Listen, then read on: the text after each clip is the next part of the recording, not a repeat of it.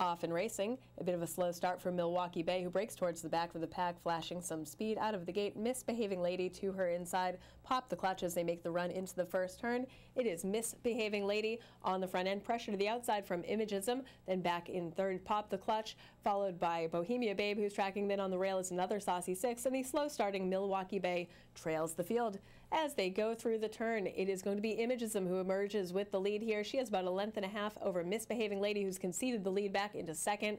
Right to her outside is Bohemia Babe, then Pop the Clutch on the rail, followed by another Saucy Six and Milwaukee Bay at the back of the pack. The opening quarter went in a modest 25 and 2 as they make their way down the backstretch.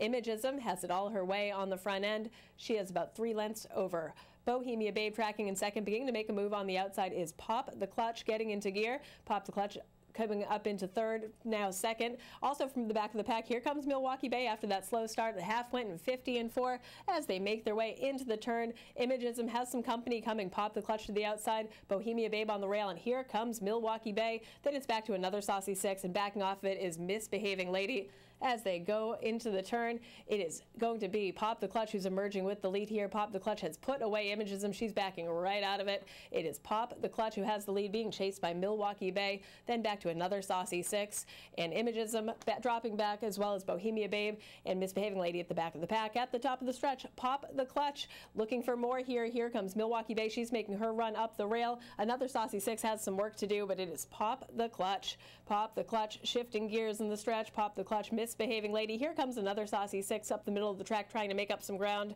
Yeah, Gabrielle Ramos asking for Pop the Clutch a little bit more. Her strides are shortening, looking for the wire, but Pop the Clutch gets the win over Milwaukee Bay. In third, another Saucy Six, and Misbehaving Lady up for fourth.